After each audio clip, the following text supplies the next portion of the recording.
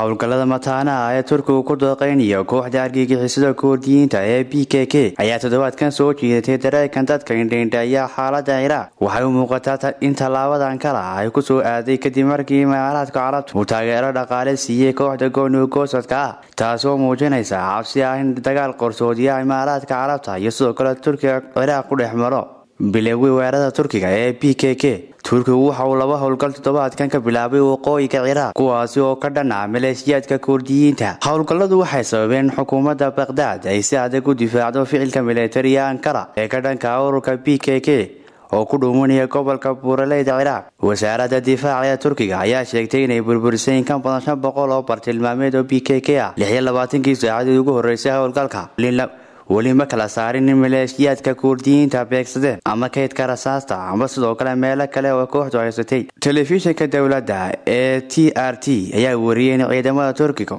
Ay burburiyeen ugu yaraan koob iyo siddeetan koobood ay ku dhuumanayeen maleeshiyaadka b k k. Iyo sidoo kale meelo hubka loo mariyo. Go'aanka uu turkigu ku bilaabay howlgalka wuxuu ka mid yahay markay soo baxeen warar sheegaya in imaaraadka carabtu oo raadinaya inuu taageero ololaha goonigosadka b k k ee ka dhanka ah turkiga kaasi oo socday ku dhowaad afartan sano islamarkaasina galaaftay nolosha afartan kun oo qof. La-anta afka carabiga ee wargeeska alcarabiya al-jadiid ayaa werisay in la wareedyo ka tirsan dowladda gobolka koordiyiin ee fadhigeedu yahay erbil. Uu sheegay in ogaadeen lacago badan oo imaaraadka carabtu siisay b k k. Ilowareedku waxa uu sheegay in dowladda gobolka koordiyiinta ay weydiistay in caddayn ogolaansho laga keeno mas'uuliyiinta lacagta loo soo diray. Imaaraadka carabta iyo akoonada bangiyada zarlot ali oo ka tirsan mas'uuliyiinta koordiyiinta ayaa sheegay in xiriirka lacagta ee ka dhexeeya koordiyiinta mucaaradka kuwa turkiga iyo imaaraadka carabta uu socdo afar sano kaasi oo soo mara ururada bulshada iyo howlgallada gaarka ah ee dadka barakacay. Kuwa uu dagaalku saameeyey waxaa la dejiyey gobollada kale ee ciraaq ee kurdistaan gaar ahaan xuduudda u dhexaysa turkiga iyo iiraan. Halkaasi oo dhaqdhaqaaqa kurdiyiintu ay ka howlgalaan imaaraadka carabta iyo turkiga waxay isku haystaan kuna muransan yihiin dhinacyo badan oo gobolka. Waxaa ugu dambeeyey libiya oo xukuumadda ankara ay taageerayso dowladda caalamka aqoonsan yahay.